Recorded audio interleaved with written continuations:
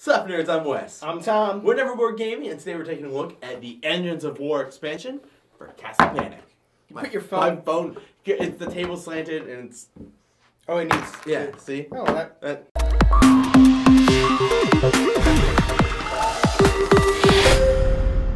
So, Engines of War is an expansion to the base game of Castle Panic, and if you have not yet seen our thoughts on the base game of Castle Panic or any of the other expansions, we'll put links to all of those in the description box down below. We're just going to be talking about this bad boy. There's gonna be purchase links down there too, but we say that at the end. So Engines of War is another one of these small box expansions for Castle Panic. So it doesn't really change a whole lot. It just adds like one or two things to the base game if you're getting tired of it to mix it up a little bit. And obviously, the biggest thing that it does is add the Engines of War, which really have this ah. resource. Yeah. that's that's why they call it that. Oh man.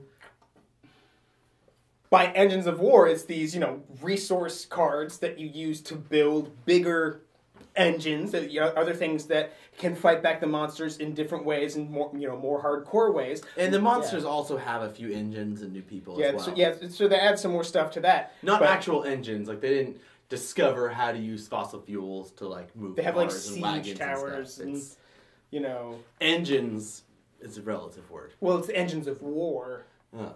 so they don't use real engines. Is of war in quotes? It's not actually a war. Engines of war. So the resource deck you add, well, the first thing you do is you take out the brick and mortar from the main deck, and it's just in this new resource deck, which really similar if you've watched the Wizard's Tower. It's just another deck you can draw cards from, and this just has the brick, the mortar, ropes, and then wood that you can then use to rebuild those walls like you would in the original version of the game, or you can also build your keep, which lets it's another tower you build in the middle that you can then put your catapult and your ballista on to launch things at the other dudes and fight back from your main tower. And then there's all these little traps you can throw in empty spaces that stop them or fling them back or do fun stuff.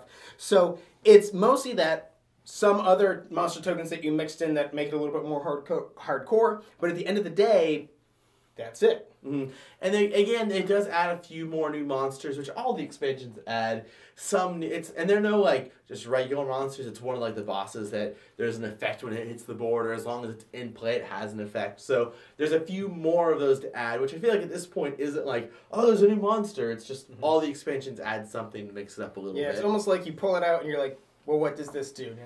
Okay, I mean, some of them Yeah. are clever. One of them doesn't let you trade while it's on the board. But, I mean, at the end of the day, it's it's a little bit, it's still just more of the same. Mm-hmm. Interesting and fun, but more the It same. Not mixes it up a little bit, but doesn't mm-hmm. really like drastically change the game. Sure. The thing, the other thing it does add is the little like I guess the engines, the encampments for the bad guys that Right, right. you know help guys move faster or Yeah, so some of the tokens that you draw out can just go up on the on the board and they never move. One the most significant one is the barracks, Mm-hmm. where it lands on a spot and then from then on, fifty percent of all the monsters you draw will come out of the barracks. So you're they're only going to come out of five or only going to come out of six. So you really really need to use the blue cards or the one or the red cards or whatever. So that is probably the biggest. That's probably the token that has the biggest effect on the gameplay. and and those tokens are really necessary because really the only way to fight those is to build your keep and then put the catapult and the ballista on it because otherwise you can't hit it. Because they're in the forest ring. because they're in the forest ring. And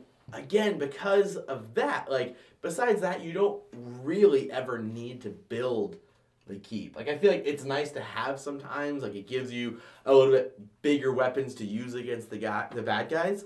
But in a lot of games you don't really need them I really do feel like this expansion it it wanted to add it wanted to add like a whole nother thing. I wanted to add a whole separate resource management aspect to it, other things you could build that do really, really cool stuff.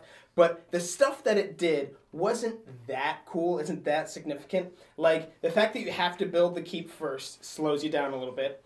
The catapult and the ballista both do while they do good things, they're not, you know, game changers. Mm-hmm. And I mean, the small traps and stuff you build are fun, but you know, when you go to draw cards, I'm nine times out of ten gonna draw from the castle deck Yeah. and not from the resources. or if you're Like- playing with the wizard's tower expansion Yeah, oh, if you- like, if you're mixing more multiple expansions I and I actually did play with everything mixed together. Kind of. I we didn't use the actual. We didn't use the Barkle Barkle dude from the Dark Titan, but we used some of the tokens just because you know they were cool and fun. Um, but yeah, we like we're drawing from the engines of war at first just to kind of get the flavor and, and build a few things. We built the we built like the ballista and then that's it. From then on out, we only ever drew from the castle deck because, well, again, it's interesting and cool, but I felt felt like they just slightly missed the mark. You know what I mean? Yeah. The things were a little bit easier to build They were a little bit more powerful.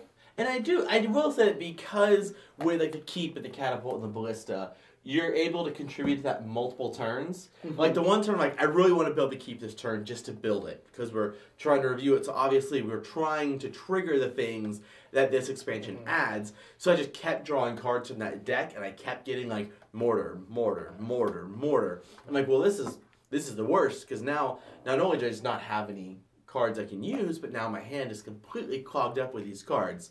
So maybe if you like started that from round one, you know there are ways that you could strategically use it, but I just I don't really think it's incredibly necessary. Now, the only thing I will say, in contrary to that, though, is we only ever play Castle Panic. Like, like in general, all every with every expansion and, and everything, we always play it with a small number of players, two and three, Yeah. and sometimes four. It does go up to six, so it could potentially be more useful in like a six-player game where if you have one dude who is just focusing mainly on doing that. And okay, while granted his turn is going to suck because he can't really hit anything, that that's something that just happens. Sometimes it just happens anyways.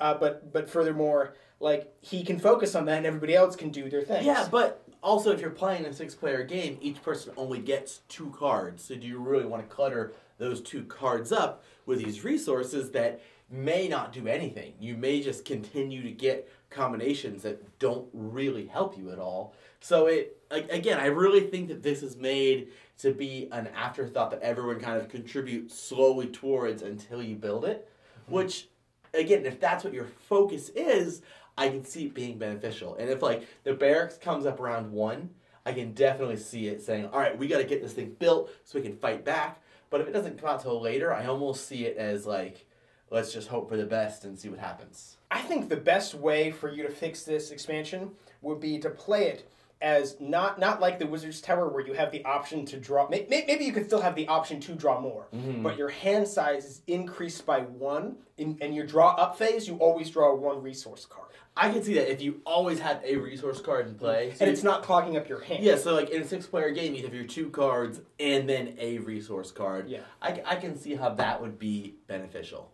overall, as you can tell, we didn't love this expansion. This is probably the weakest one that they've put out. Um, it's def- I would definitely recommend playing with this one. Maybe, maybe purchasing this one last. So I guess yeah, buy Wizard Tower first, then Dark Titan, then this, and just kind of like the Dark Titan, play this one solely with the base game as much as you can. When you mix it in, you're, you're probably going to start ignoring your. The more you other expansions you have with this, the less you're going to even notice that this is in there. That's not to say that this is an expansion you shouldn't buy. I just suggest purchasing it last because some of the things are kind of interesting. I do l- enjoy putting down the traps, and I, I guess I'd kind of focus on those a little bit more because the the like everybody focusing on building the keep and the ballista and the catapults isn't all that great. Maybe you can house rule it to where you have the extra card thing, but other than that, this is probably the expansion we're going to use the least.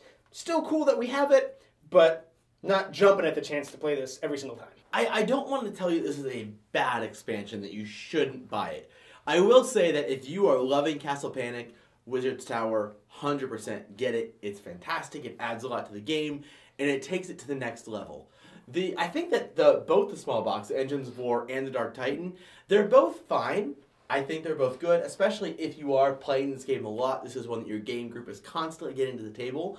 They're a really nice way just to kind of change the game up a little bit. Um, I don't think that this is an expansion that I would just permanently add to the game. I think that Wizard's Tower is one that if I'm playing with experienced players, like there's no reason that I wouldn't add it. In fact, I may just like make my base box to have the Wizard's Tower already incorporated because because they're all the expansions are where you have to take stuff out and put stuff in. It's not just like plug and play. I'll probably have it set up such that the Wizard's Tower is ready to go. And if I need to play the vanilla game, we'll either get your copy of it or I'll swap it out that way because I see myself playing with the Wizard's Tower more than just the vanilla game. The Engines of War and the Dark Titan, again, the Dark Titan adds like the one big bad guy is really the thing he adds, and the little stuff that he adds, like you can add that into any game. Same with this guy, like the the extra bad dudes, the the little camps like need to go with the the keep, but everything else you can or just, you can just play hardcore mode and you can never kill them. yeah. Really? So I think this is an ideal expansion for someone who plays this game all the time and needs a way to mix it up. But if you're just a casual player, then start with the Wizard's Tower and see how it goes. We're going to have links to the base game and all the expansions in the description box down below. See, I told you we'd come back to that. Anyway, while you're down there, don't forget to subscribe to our channel so you'll never be bored. Finger guns. I was already like ready with the finger guns. Yeah. We'll put a link to the those. We're gonna have links to all of those things in the purchase. We're gonna have purchase links to the base game and every single expansion in the purchase. Why?